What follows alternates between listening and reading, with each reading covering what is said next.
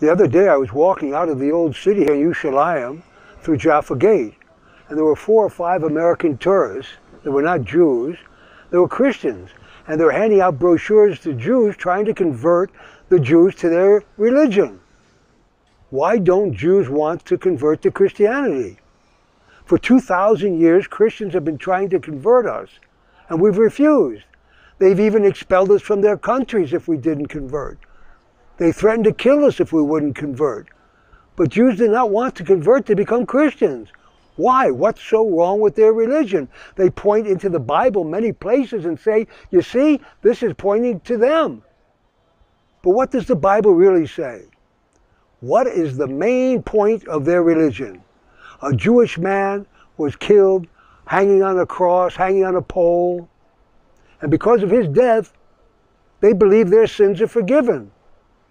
But what does the Torah say? The Torah clearly says, no man will die for another man's sins.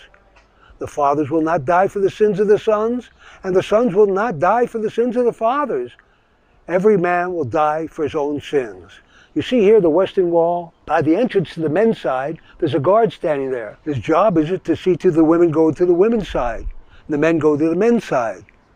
Men are to cover their heads with a covering that's provided there. And if anybody is wearing a cross, they have to hide it. Put it in their pocket. Quran, Quran. The cross. Google. Thank you. Google. Guys, what's the whole thing? Tibia. Tibia. What's so offensive about the cross? It's the very symbol of their belief. Torah says if a man is executed, he's to be hung on a pole for everyone to see that he was executed. But before nightfall, his body must be taken down from that pole. Why? Because a man hanging on a pole is a curse to God. This is what the Bible says. The very symbol of their religion is a symbol of a curse to God. Now do you see why Jews don't want to convert to their